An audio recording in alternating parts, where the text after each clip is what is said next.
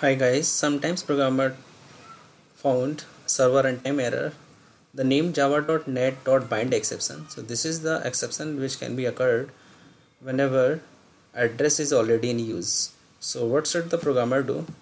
Sometimes programmers is trying to execute any class. So this is a Java main class and I'm executing this class because this class have main and programmer found server runtime error that is java.net.bind exception. So how can you resolve this? Go to the start enter cmd open your cmd and just enter this simple command netstat hyphen a hyphen o hyphen n enter. And you will found the list of process.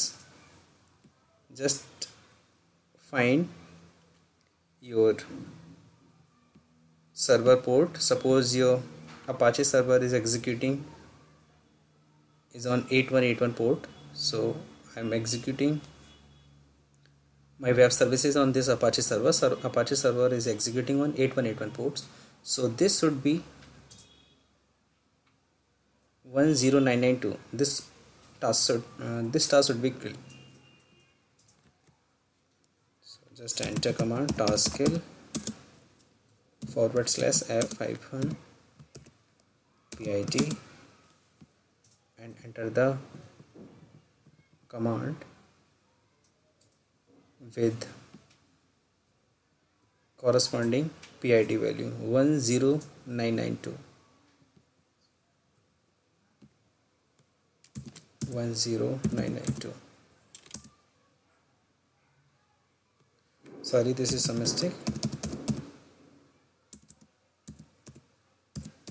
Task kill hyphen f hyphen pid 10992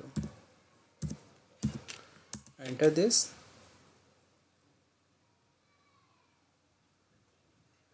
task kill oh. Again mistake task kill hyphen f hyphen pid